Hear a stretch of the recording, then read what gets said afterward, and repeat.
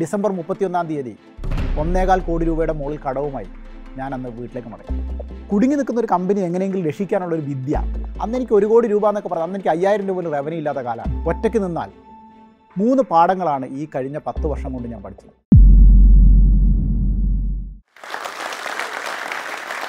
ഞാൻ Joby brand Swami growth consultant എന്ന സ്ഥാപനത്തിന്റെ സ്ഥാപകനും ചീഫ് കൺസൾട്ടന്റുമാണ് വയനാട്ടിലെ ഒരു കർഷക കുടുംബത്തിലായിരുന്നു എന്റെ ജന്മം കർഷക കുടുംബം എന്നൊക്കെ പറഞ്ഞാൽ നമ്മൾ ഈ കർഷകൻ എന്നൊക്കെ പറയുമ്പോൾ ഏക്കർ കണക്കിന് സ്ഥലമുള്ള ആളുകളെയൊക്കെ ആയിരിക്കും കണ്ടിട്ടുണ്ടാവുക. ആകെ ഇരുപത്തൊന്ന് സെന്റ് സ്ഥലമുള്ള ഒരു കുഞ്ഞു വീടും കൂടെ ഒരു കടയും കേരളത്തിലൊരു പ്രമുഖ പത്രത്തിന്റെ ഏജൻസിയുമായിട്ട് അക്കാലത്താണ് ഞങ്ങൾ അങ്ങനെ ഒരു കുട്ടിക്കാലമായിരുന്നു ഞങ്ങളുടേത്. അന്നൊക്കെ ഒരു അത്ലറ്റ് ആവുക എന്നുള്ളതായിരുന്നു ആഗ്രഹം. സ്കൂളിൽ പഠിച്ച് എട്ടാം ക്ലാസ്സിൽ പഠിക്കുന്നവർ എല്ലാ ദിവസവും ഓട്ടമത്സരത്തിൽ പങ്കെടുക്കും. അങ്ങനെ ഓടി ഓടി ഒരു ദിവസം കോച്ചുമായിട്ട് അടി കൂടിയപ്പോൾ ഓട്ടം നിർത്തി. അങ്ങനെ എട്ടാം ക്ലാസ്സിൽ വയനാട്ടിലെ പ്രസിദ്ധമായൊരു സ്കൂളിൽ നിന്ന് പുറത്താക്കപ്പെട്ടു. അപ്പോൾ ആ സ്കൂൾ വിട്ട് പടിഞ്ഞാറത്തറ ഗവൺമെന്റ് ഹൈസ്കൂളിൽ എത്തുന്നു. അന്ന് ആദ്യ ദിവസം ക്ലാസ്സിൽ പോയപ്പോൾ ഞാൻ ചോദിച്ചു "ചു, ഈ സ്കൂളിൽ ഏറ്റവും നന്നായി പഠിക്കുന്ന കുട്ടി അപ്പോൾ അന്ന് എനിക്കൊരു ലക്ഷ്യം ഉണ്ടായിരുന്നു ഞാൻ എന്തായാലും ഈ സ്കൂളിൽ നിന്ന് പുറത്തിറങ്ങുമ്പം ഏറ്റവും കൂടുതൽ മാർക്ക് വാങ്ങിയ എസ് എസ് എൽ സിയിലെ കുട്ടിയാവണം. അങ്ങനെ രണ്ട് വർഷങ്ങൾ. ശനിയും ഞായറും ഞങ്ങൾ പണിക്ക് പോകും. അപ്പോൾ ഇഞ്ചി കൃഷി വാഴക്കൃഷി അങ്ങനെ പലതരത്തിലുള്ള കൃഷികളുമായിട്ട് അപ്പച്ചന്റെ അമ്മച്ചന്റെ കൂടെ ഞങ്ങൾ എന്ത് ചെയ്യും വാഴക്കൃഷിക്ക് പോകും. ഇഞ്ചി കൃഷിയാണെങ്കിൽ രണ്ടര കിലോമീറ്റർ അപ്പുറത്തേക്ക് ചുമട് ചാണകം തലയിൽ ചുവന്ന് കൊണ്ടുപോയിട്ട് നമ്മൾ അവിടെ ഇഞ്ചി കൃഷി എടുക്കും. ഇഞ്ചിക്ക് കുഴി എടുക്കും. ഇഞ്ചി നടും. ആ നട്ട ഇഞ്ചി മൊത്തം കേടായി പോകും അങ്ങനെ കർഷക കുടുംബം എന്നൊക്കെ പറഞ്ഞാൽ നമ്മൾ വിചാരിക്കും ഭയങ്കരമായിട്ട് റിട്ടേൺ കിട്ടുന്നൊരു പരിപാടിയാണ് എന്നുള്ളത്. ഒരു റിട്ടേണും ഇല്ല എന്ന് തിരിച്ചറിയാൻ കുറേ വൈകും. അങ്ങനെ എസ് എസ് എൽ സി ഒക്കെ നല്ല പരീക്ഷയ്ക്ക് പാസ്സായി നിൽക്കുമ്പോൾ പിന്നീട് പ്ലസ് ടു പഠിക്കുമ്പോൾ അപ്പച്ചനും അമ്മച്ചിയും പറഞ്ഞു എൻജിനീയറിങ്ങോ എൻട്രൻസോ മെഡിക്കലോ എൻട്രൻസ് എഴുതണം. എനിക്ക് ഒരു കാര്യം ഉറപ്പാണ് ഈ ശസ്ത്രക്രിയയിലും നമുക്ക് പറ്റുന്ന പരിപാടിയല്ല. ഈ ഡോക്ടർ ആകാമെന്നൊക്കെ വേണമെങ്കിൽ വെറുതെ ചിന്തിക്കാം. അപ്പം ഞാൻ അന്നും തീരുമാനിച്ചു. ഞാനൊരു ജേർണലിസ്റ്റ് ആവാൻ തീരുമാനിച്ച് ഇംഗ്ലീഷ് പഠിക്കാൻ ദേവഗിരി സെന്റ് ജോസഫ്സ് കോളേജ് എത്തി. അങ്ങനെ ഫസ്റ്റ് ഇയർ പരീക്ഷയ്ക്ക് നൂറിൽ ഒമ്പത് മാർക്കുമായിട്ട് നമ്മൾ എട്ട് നിലയ്ക്ക് പൊട്ടി. ഇന്നും ആ പരീക്ഷ റിസൾട്ട് വന്ന ദിവസം വൈകുന്നേരം ഹോസ്റ്റലിൽ നിന്ന് ഇറങ്ങി നടന്ന് കാലിക്കറ്റ് മാനാഞ്ചിറ സ്ക്വയറിൽ പോയി വൈകുന്നേരം മുഴുവൻ മുകളിലേക്ക് നോക്കിക്കിടന്നു അടുത്തെന്താ ചെയ്യുക ഇംഗ്ലീഷ് അറിയില്ല. ഇംഗ്ലീഷിന്റെ എ ബി സി ഡി മനസ്സിലാവുന്നില്ല. എഴുതി എഴുതിയ പരീക്ഷ തോക്കുകയും ചെയ്തു. ഒന്നല്ലെങ്കിൽ ഇവിടെ വെച്ച് പഠിത്തം നിർത്തി വേറെ ഏതെങ്കിലും സബ്ജക്റ്റിന് ചേരാം. അല്ലെങ്കിൽ ഇതുമായി മുന്നോട്ട് പോകണം. പിറ്റേന്ന് രാവിലെ ഒരു ദിവസം മൊത്തം മാനാഞ്ചിറ സ്ക്വയറിൽ ആരും അറിയാതെ കിടന്നുറങ്ങി പിറ്റേന്ന് രാവിലെ വീട്ടിലെത്തിയപ്പം ഹോസ്റ്റലിലെത്തിയപ്പം ഞാൻ ഉറപ്പിച്ച് തീരുമാനിച്ചു. ഇംഗ്ലീഷ് ഒരു ഭാഷയാണ്. മലയാളം എനിക്കറിയാമെങ്കിൽ ഞാൻ ഇംഗ്ലീഷും പഠിക്കും. അങ്ങനെ ആദ്യമായിട്ട് ദേവഗിരി കോളേജിന്റെ ലൈബ്രറി കയറി. ഞാനന്ന് കുറച്ചൊക്കെ വായിക്കുമായിരുന്നു. മലയാളമാണ് വായിക്കുക. അപ്പോൾ ഞാൻ ആദ്യം ഇംഗ്ലീഷിലെ പോയം എടുത്തു നോക്കി. പോയം ചെറുതാണല്ലോ വായിച്ചാൽ മനസ്സിലാവുമെന്ന് വിചാരിച്ചു. അപ്പോൾ പിന്നെ എനിക്ക് മനസ്സിലായി ഈ പോയം എന്ന് പറയുന്നത് ഒട്ടും മനസ്സിലാവാത്തൊരു സാധനമാണ്. അങ്ങനെ ഞാൻ പോയംസ് ഒക്കെ മാറ്റി വെച്ചു. നോവൽ വായിക്കാൻ തുടങ്ങി. അപ്പോഴെനിക്ക് മനസ്സിലായി നോവൽ അതിലും കട്ടിയാണ് അങ്ങനെ ഞാൻ തപ്പി തപ്പി ഒടുവിൽ ഇംഗ്ലീഷ് ഡ്രാമയിലെത്തി. ഈ ഡ്രാമയാകുമ്പോൾ രണ്ടുപേരും അങ്ങോട്ടും ഇങ്ങോട്ടും സംസാരിക്കുന്ന നമുക്ക് മനസ്സിലാക്കാൻ ഭയങ്കര എളുപ്പമാണ് അങ്ങനെ ഞാൻ ഡ്രാമ വായിച്ച് പഠിച്ച് രണ്ട് വർഷം കൊണ്ട് ഡിഗ്രി വലിയ കുഴപ്പമില്ലാത്ത മാർക്കിൽ പാസ്സായി. പിന്നീട് ജേർണലിസം കഴിഞ്ഞു. ജേർണലിസം കഴിഞ്ഞ് കേരളത്തിലൊരു പ്രമുഖ പത്രത്തിൽ ജോലി കിട്ടുന്നു. അപ്പോൾ എന്റെ അച്ഛനെ സംബന്ധിച്ച് എന്റെ അമ്മയെ സംബന്ധിച്ച് അവരുടെ ജീവിതത്തിൽ ഏറ്റവും വലിയ സ്വപ്നങ്ങളിലൊന്നായിരുന്നു. അവരുടെ അവർക്ക് ഏജന്റായി അതേ പത്രത്തിൽ ഞാൻ സബ് എഡിറ്ററായിട്ട് വരുന്നു. ഫസ്റ്റ് ദിവസം ആ പത്രത്തിലേക്ക് കയറി ചെല്ലുമ്പോൾ ഞാൻ തീരുമാനിച്ചു. എന്നാണോ ഇവിടുന്ന് എനിക്ക് പഠിക്കേണ്ടതൊക്കെ പഠിക്കുന്ന അന്ന് ഞാനിത് വിടും. അങ്ങനെ ഒരു വർഷം അവിടെ നിന്നു. ഇതിനിടയിൽ പത്രത്തിൽ റിപ്പോർട്ടറായി വലിയ തിളങ്ങാനൊക്കെ സ്വപ്നം കണ്ട് നടന്നിരുന്ന എന്നെ ഇതൊന്നും സമ്മതിക്കാതെ അന്നത്തെ അവരുടെ ഒരു തൊഴിൽ പ്രസിദ്ധീകരണത്തിന്റെ ഇൻചാർജ് ആക്കി എനിക്ക് ശരിക്കും ദേഷ്യം പിടിച്ചു. കാരണം ഞാൻ ഇതിനു വേണ്ടി ഒന്നല്ലോ ജേർണലിസം പഠിച്ചത്. ഒരു ജീവിതകാലം മുഴുവൻ ജേർണലിസ്റ്റ് അവിടുന്ന് സ്വപ്നം കണ്ട് എത്തിപ്പെട്ടതാവട്ടെ ഒരു തൊഴിൽ പ്രസിദ്ധീകരണത്തിൽ. പക്ഷേ അവിടുന്ന് ഞാനൊരു പാഠം പഠിച്ചു. കുടുങ്ങി നിൽക്കുന്ന ഒരു കമ്പനി എങ്ങനെയെങ്കിലും രക്ഷിക്കാനുള്ള ഒരു വിദ്യ.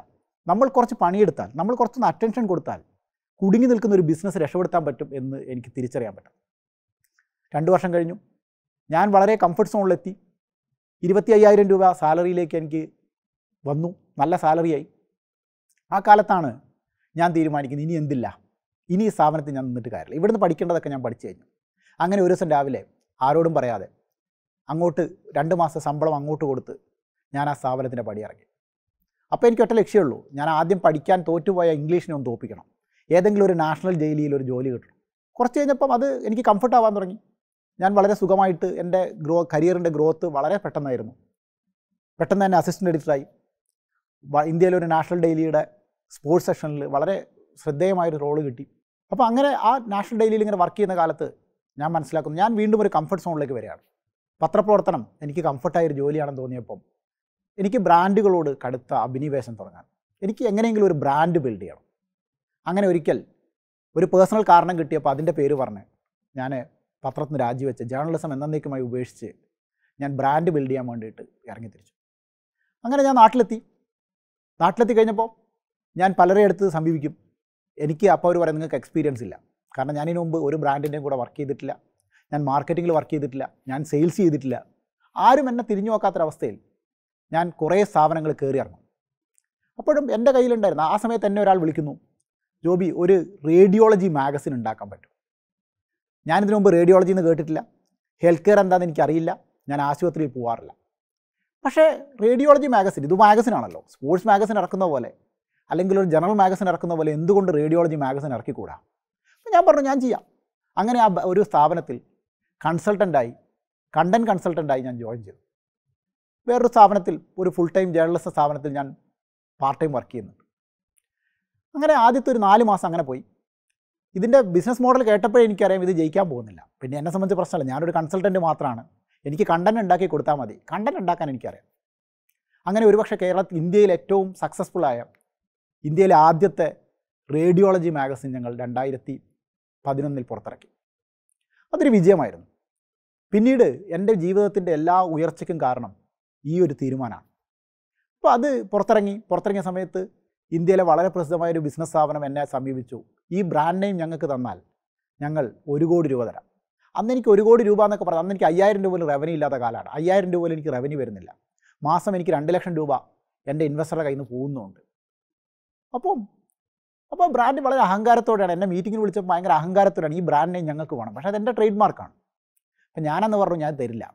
എന്തിനാണ് തരില്ല എന്ന് പറഞ്ഞത് ഇന്നും എനിക്കറിയില്ല. പക്ഷേ ആ ബ്രാൻഡ് ഞങ്ങൾ കൊടുക്കാൻ തയ്യാറായില്ല അങ്ങനെ ഒരു ദിവസം എനിക്ക് മനസ്സിലായി ഒരു ആറു മാസം കഴിഞ്ഞപ്പോൾ എന്റെ കയ്യിൽ നിന്ന് ഏകദേശം ഒരു മുപ്പത് ലക്ഷം രൂപ നഷ്ടപ്പെട്ടിട്ടുണ്ട്. എനിക്ക് അന്ന് വരെ ഉണ്ടായിരുന്ന റവന്യൂ ആകെ അയ്യായിരം രൂപയാണ്. ഇനി എന്റെ കയ്യിൽ മുടക്കാൻ ഒരു പൈസയില്ല. എനിക്ക് ആകെ ഉള്ളത് എനിക്ക് കിട്ടുന്ന ഒരു ശമ്പളമുണ്ട്. അപ്പോൾ ഞാൻ തീരുമാനിച്ചു ഇനി ഒരൊറ്റ നിവൃത്തിയേ ഞാൻ ആ ജോലി വിടുക. കല്യാണം കഴിച്ചിട്ട് രണ്ട് മാസമേ ആയിട്ടുള്ളൂ.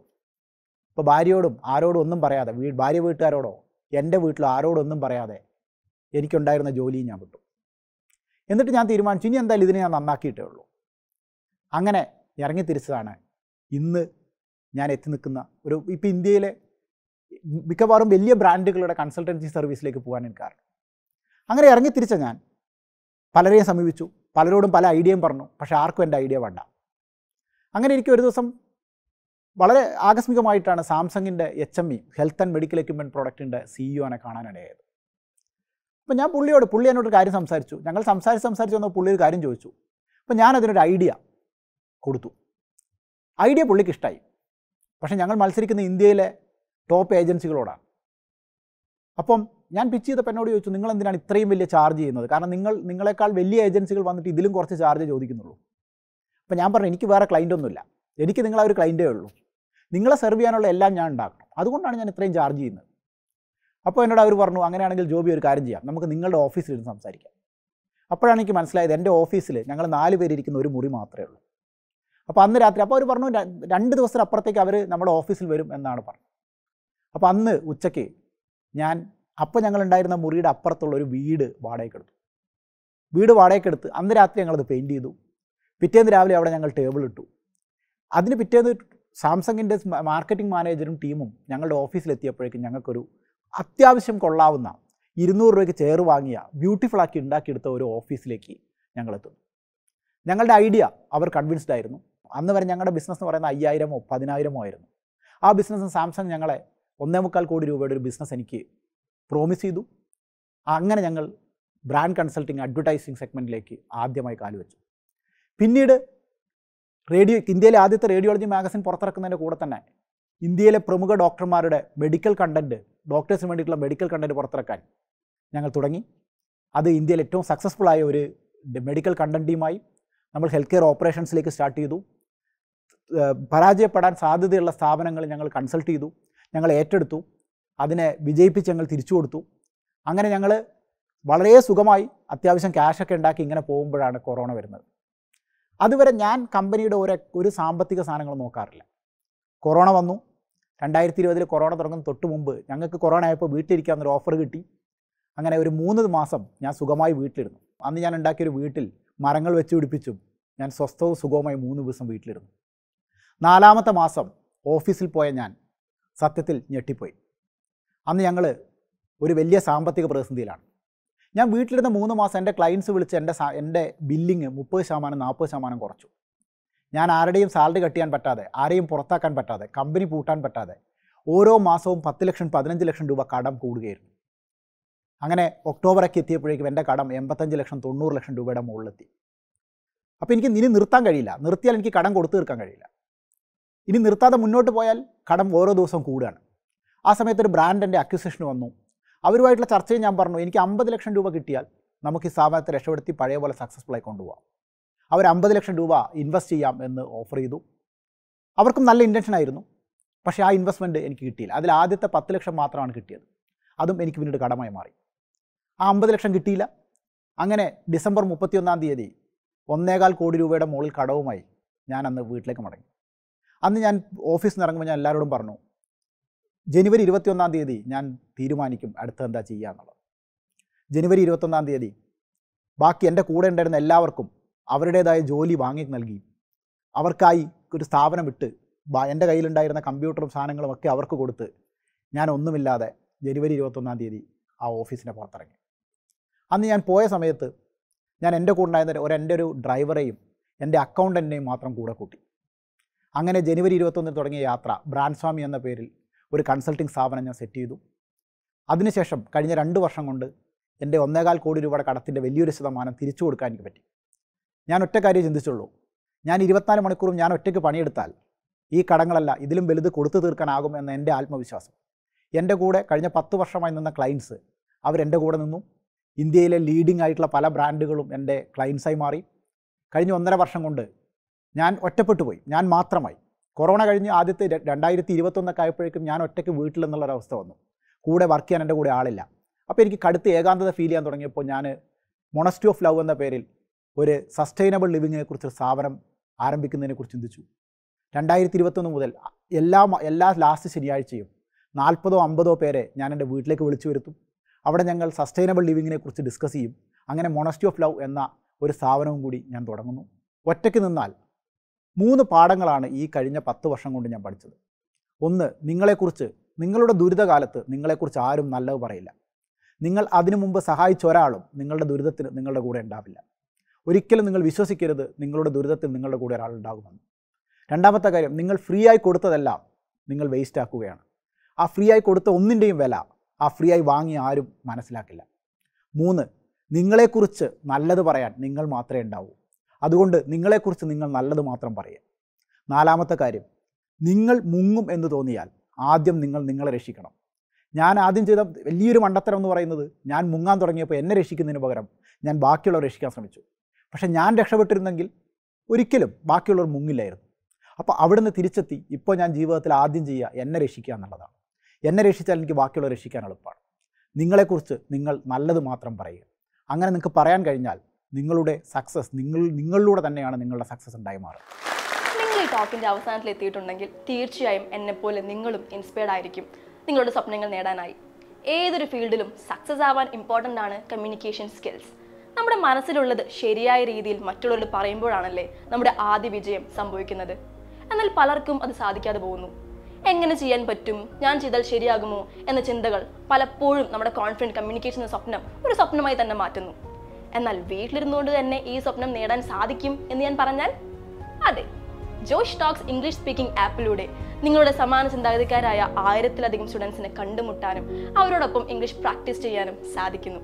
അപ്പോൾ ഇപ്പോൾ തന്നെ താഴെ തന്നിരിക്കുന്ന ലിങ്കിൽ ക്ലിക്ക് ചെയ്ത് start your free tell today. ഈ ടോക്ക് നിങ്ങൾക്ക് ഇഷ്ടമായെങ്കിൽ ലൈക്ക് ചെയ്യൂ ഷെയർ ചെയ്യൂ കമന്റ് ബോക്സിൽ നിങ്ങളുടെ അഭിപ്രായം രേഖപ്പെടുത്തൂ. പുതിയ വീഡിയോകൾക്കായി സബ്സ്ക്രൈബ് ചെയ്യൂ.